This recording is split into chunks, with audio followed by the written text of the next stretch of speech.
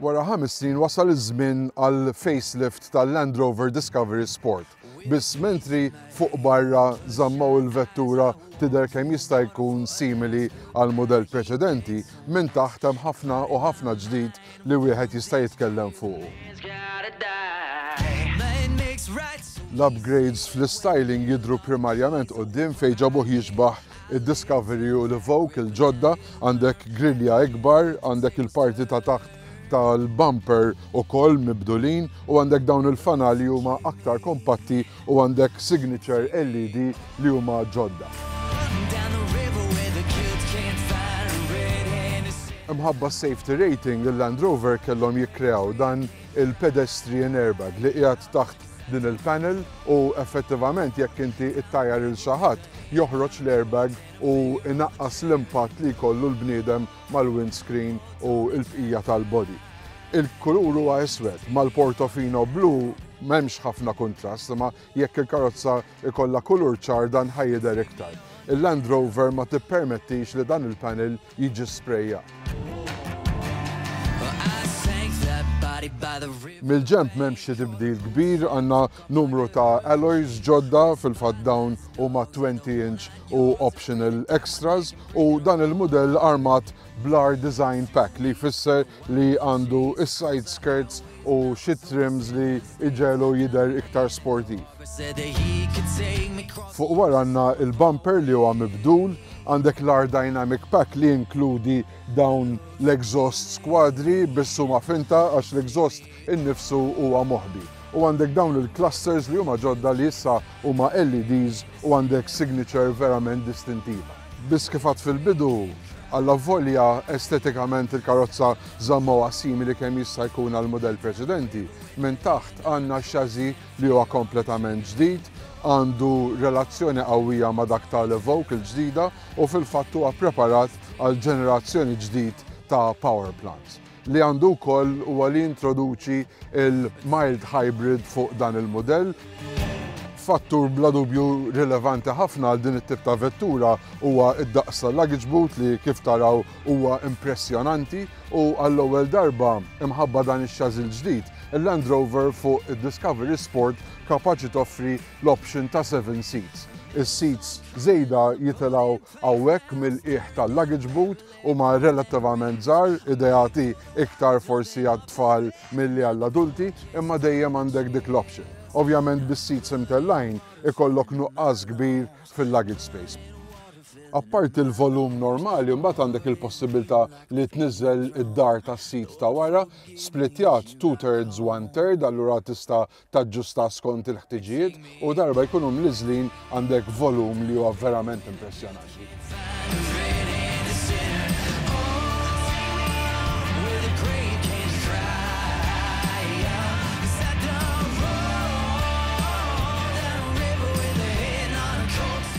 Is-seats ta' wara qegħdin individwalment fuq railings, allura tista' tressaqhom il-qudiem u lura skont l-ammont ta' spazju li għandek bżonn fuq wara. Joqogħdu tliet adulti komdi, għandek l-art vertwalment ċatta allura anke spazju fejn iddaħħal saqajk dejjem tista' toqgħod komdu. Kif taraw il-leg room anke għal xi ħadd twil u anke il-head room u x-shoulder room huma verament ġenerużi.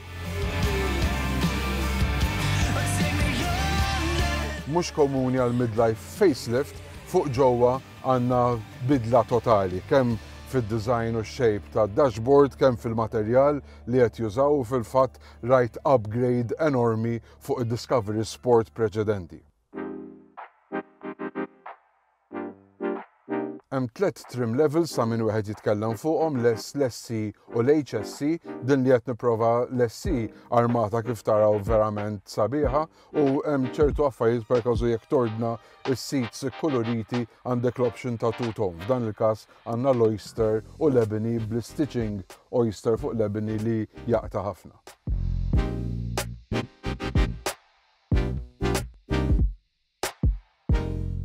Għoġobni immens l-istyling tad-dashboard u bla dubju l-materjal is-soft touch plastics li kullimkien mgħotti bihom.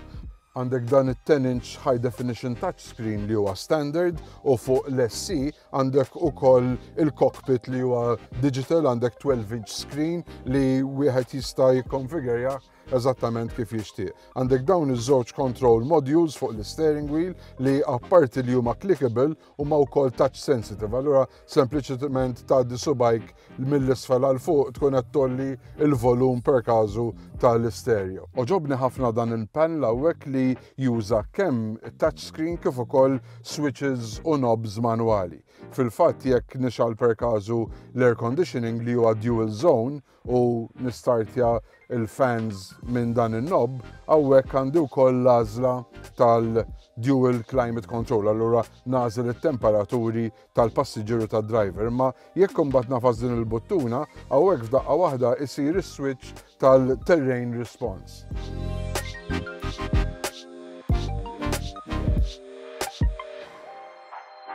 Din il-parti tal-konsol mibdula wkoll, kif tiftakru Fl-antik kien hemm dak il-controller, illum qalbuh għal trigger selection tal-gerijiet u għandek ħafna u ħafna spazju. Il-possibilità tal-wireless charging hawn ġo, hawn taħt għandek żewġ cup holders ta' daqsijiet differenti biss jekk ma tixtieqx dik it-toqba tidher għandek dan il-cover ukoll u hawn taħt ukoll hawn ħafna spazju u l-konnettività għandek żewġ USBs u 12 volt adapter.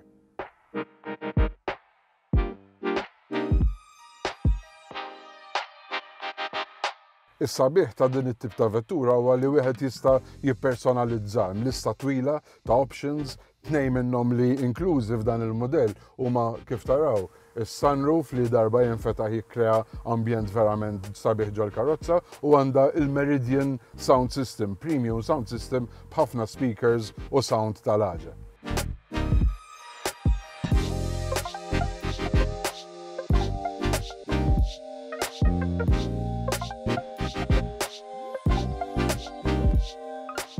ħaġa li ġieli tiġri huwa li jekk ikollok xi ħadd twil bil-qeda fuq is-sit ta' wara, ħajimblukka għalhekk dak li normalment tara mill-rear view mirror.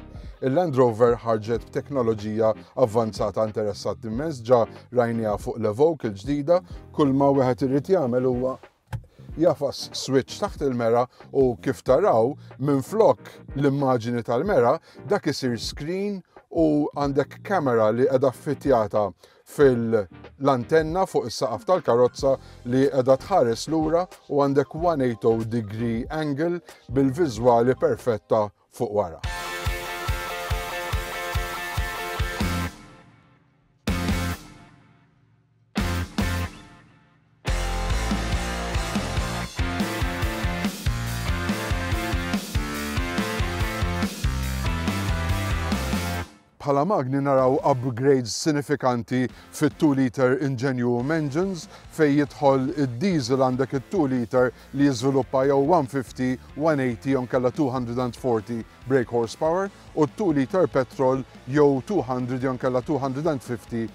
brake horsepower. Dawn jiġu mmaċċjati ma' nine speed automatic gearbox li hija effiċjenti immens u issa s-sistema l-ġdida bix-chassis l-ġdid jinkorpora wkoll dak li jgħidulu l-mild hybrid. Allura għandek batterija ddedikata għal dan l-iskop u din il-batterija qed tieħu ċ-charge waqt li l-karozza tkun qed tintuża Il-benefiċċju huwa li perkażu meta inti qed tislowja on gear biex tieqaf għat-traffic lights, Tintefa' l-magna u inti taħdem fuq il-batterija u anke meta tiġi biex titlaq meta jaqleb l-aħdar inti għandek il-batterija li tgħin lill-magna petrol biex inqas ikun hemm konsum u effettivament din is-sistema tista' ssalvalek sa xi sitta fil-mija tal-konsum normali tal-petrol jew diesel. Kambjament enormi li ġab ix-chassis li jużaw fil-Discovery Sport il-ġdid huwa l-esperjenza tas-sewqan. Il-karozza saret ħafna iktar matura kemm jekk qed issuq ġewwa l-belt imma anke jekk toħroġ fuq l-awtostrada, il-karozza stabbli mmens, komda mmens u responsive ħafna iktar.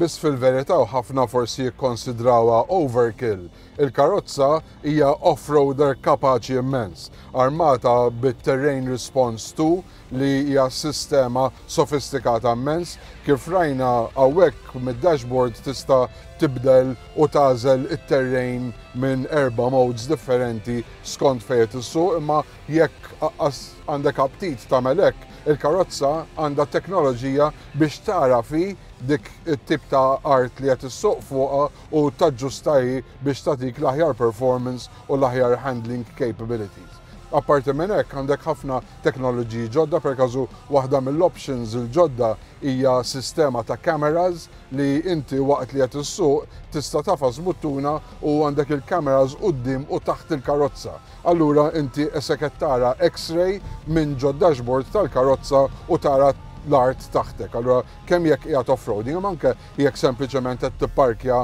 ma' bankina, minn din il-kamera tista' tara eżattament kemm avviċinajt il-bankina biex ma tagħmilx ħsara.